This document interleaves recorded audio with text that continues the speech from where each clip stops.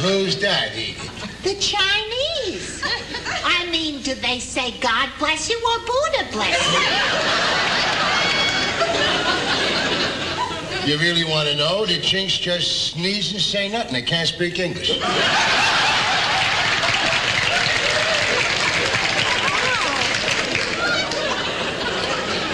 Why couldn't they say Buddha bless you in Chinese?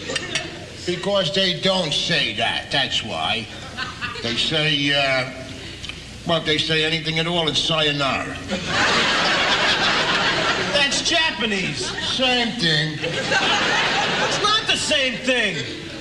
What are you talking about? You put a Jap and a chink together, you're going to tell me which is which? That's right, because I find out about them. I talk to them as individuals. Sure, you talk to them. You say which one of you guys is the chink.